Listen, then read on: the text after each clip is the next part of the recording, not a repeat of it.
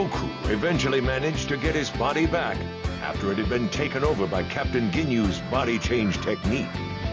However, the price was high as Goku's body was badly injured. To heal his wounds, Vegeta put him into the recuperation tank on Frieza's spaceship. Meanwhile, Krillin was heading towards Guru's house to ask for the words needed to awaken the Eternal Dragon. Okay, here I go.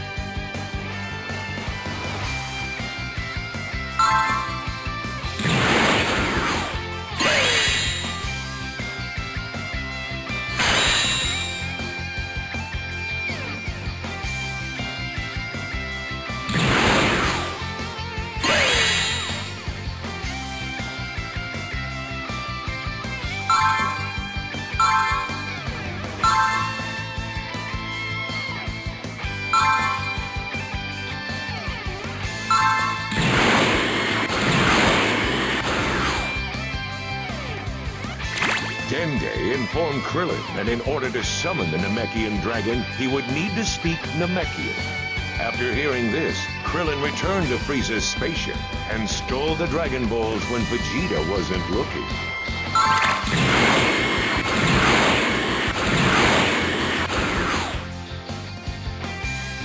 Then, immediately summoning Porunga, Shenron of planet Namek, he brought Piccolo back and asked him to be revived to planet Namek.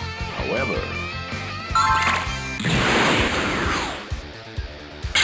Vegeta appeared, having noticed that something was wrong.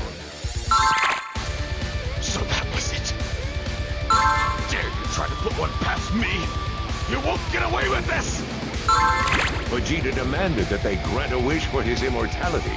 But, just at that moment, Guru died, and the Dragon Balls turned to stone.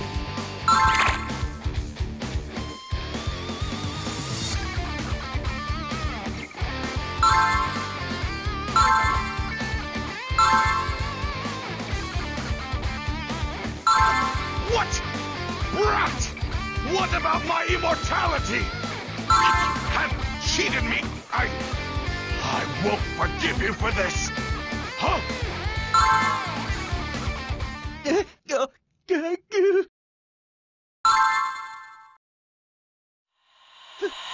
Frieza! You've all been busy, haven't you? My dreams of immortality are ruined. No one has ever made such a fool of me. You worms, I won't let you get away with this. I'm going to take my time pounding you to death.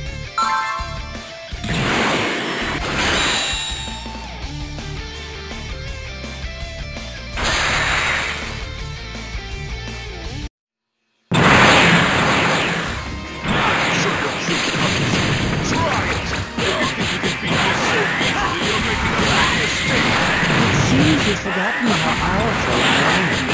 Let me help you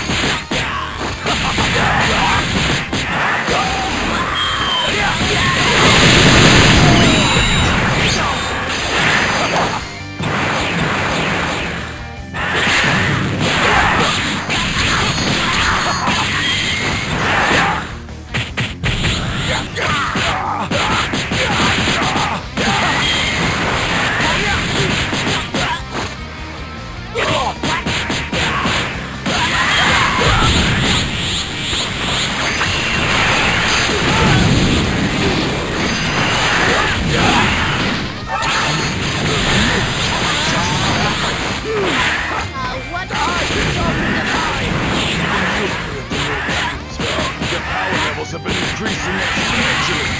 Ah, steadily becoming the one that you're... Is! What nonsense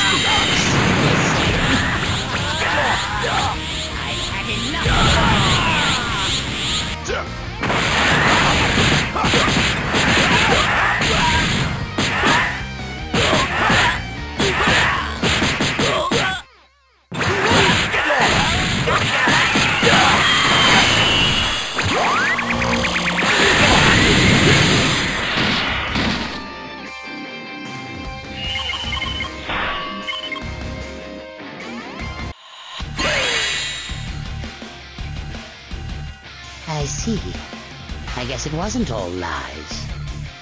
Transform, Frieza! You might as well transform right now and show your true self! Ah, so you know about that. How did you find out? That idiot Zarbon let it slip. Well, if it's death you seek so badly, I won't stand in the way. Take a good look. This isn't something many people ever get to see.